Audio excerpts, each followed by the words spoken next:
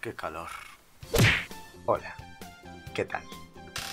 Bueno, bueno, antes que nada, perdonad porque creo que hace como dos semanas aproximadamente que no subo vídeo ni doy muchas noticias por YouTube. Básicamente porque dos razones. Una, estoy trabajando un montón y en mi sector es cuando más trabajo hay, entonces estoy un poco hasta aquí. Y la segunda es que, bueno, pues que hace muchísimo calor y estoy hasta coño. Y necesitaba un poquito de relax porque calor sumado a trabajo es... Así que bueno, he aprovechado un poco para relajarme estas dos últimas semanas ya estoy con más, un poco más de fuerza. Así que nada, hoy os presento un nuevo vídeo que ya tenía las que ganas, pero no tenía tiempo. pero pues por fin puedo, así que espero que os guste. Básicamente se trata de un rehaciendo mis dibujos, que si os acordáis hace ya un mes o así, os dije que, que preferíais que hiciera uno de los dibujos de la carpeta esa que os enseñé, o que hiciera un reacciono a los dibujos de la carpeta. Ganó lo último, así que lo segundo dije, también quiero hacerlo, así que lo haré más adelante. Y este es el resultado. ¿Y qué he dibujado? Vamos a echar una vista atrás y ya sabéis a qué me refiero. Oh, por favor. Oh, por favor, el nombre Pearl Woman. me meo conmigo mismo. Pues sí, voy a dibujar a Pearl Woman, que no sé qué estaría pensando para poner un nombre tan ridículo. Bueno, tenía 12 años más o menos. Es un dibujo del 2000, 2007 o 2006 tenía 13 años o 14 más o menos, así que nada, espero que os guste y este es el resultado.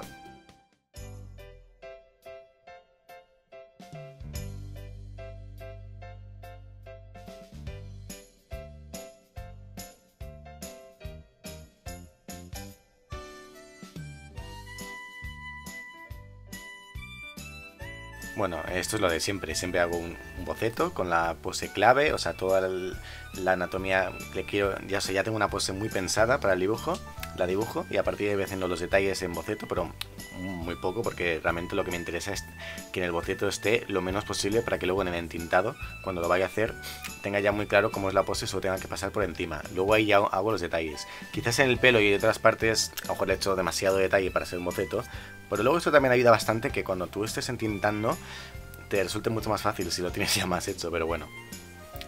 Bueno, aquí veis que ya estoy intentando todo lo que es la ropa, el sombreado con de las partes más oscuras. Uy, si habéis escuchado golpes que le da un hostión a mi casco, que madre mía.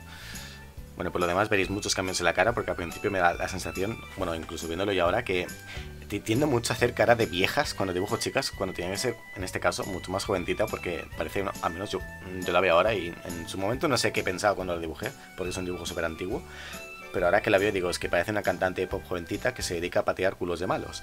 Y es lo que debería parecer, no una señora cuarentona que, aún quiere ser superheroína, y está sacando singles de, bueno, remixes de sus singles de éxito de hace 20 años. Pues no, este no es el caso.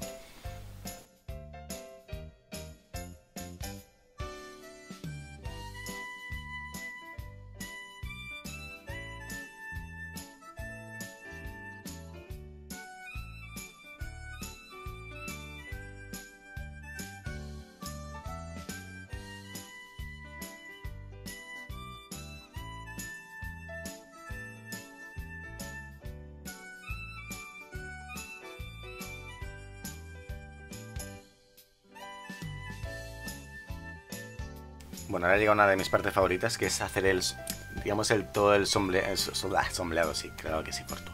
El sombreado de la ropa.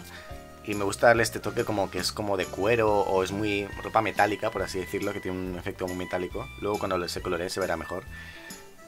Quería darle, ya que es una ropa un poco exótica, porque es como una cantante así pop muy, no sé, muy no sé cómo definirla. Ella quiere ser muy, muy diferente, ¿sabes? Una especie de harina grande, pero obviamente no, tiene nada que ver. Es que de hecho se nota un montón que tenía muchas influencias de Sailor Moon cuando hice este dibujo, porque es que es lo que, lo que, dije en el vídeo anterior del em, reaccionando a mis dibujos antiguos. son como las Starlight, que si veis Sailor Moon sabréis quiénes son. De hecho, hasta lleva el mismo micro con las alitas, exacto.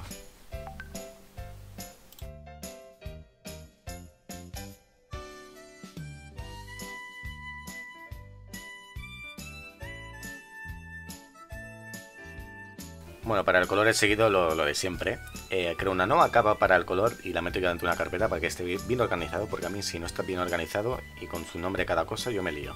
Y yo os recomiendo que si dibujáis hagáis lo mismo, porque si no os vais a liar y la vais a cagar y os va a pasar mil veces eso.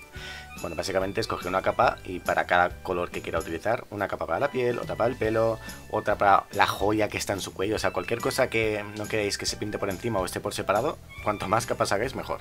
Mientras tengáis bien organizadas no habrá ningún problema. Dibujar las medias la verdad es que me pareció súper divertido porque es lo único realmente que destaca de, en cuanto a color del personaje y es como un contraste súper guay, no sé. Eh, creo que estoy muy orgulloso de haber hecho ese, detalle de pequeño. Lo que le he añadido y que no estaba en el dibujo original es la especie de tatuaje que tiene en el ojo derecho en plan como si fuese Lady Gaga, ¿sabes? Creo que es un detalle que le queda guay. Y también le añadido el colgante del rayo que le cuelga de la gargantilla, así combina un poco también con el tatuaje. Y ahora nada, estoy haciendo ya el sombreado.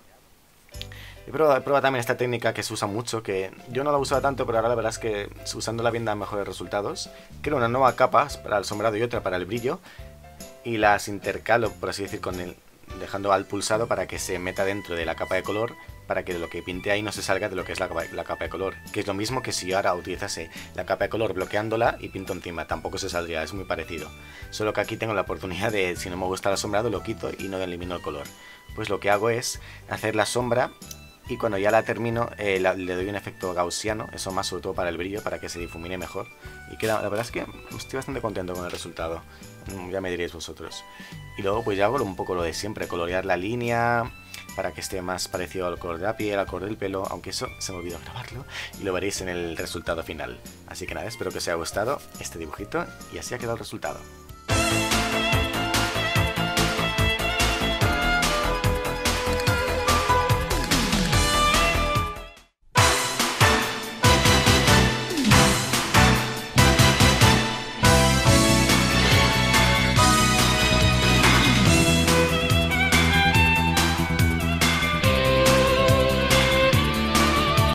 Y nada, este es el resultado, espero que os haya gustado. Para el próximo vídeo seguramente haya una colaboración, que ya tenía ganas de hacer algo con alguien. Seguro que os gustará porque es alguien con mucho talento. Así que nos vemos pronto, no quiero decir cuándo porque últimamente no estoy muy seguro de si puedo subir estos días. Así que soy de pronto porque quiero hacerlo pronto. Así que muchas gracias por seguirme, podéis darle a like, suscribiros y todo eso. Nos vemos en el siguiente vídeo. ¡Hasta luego!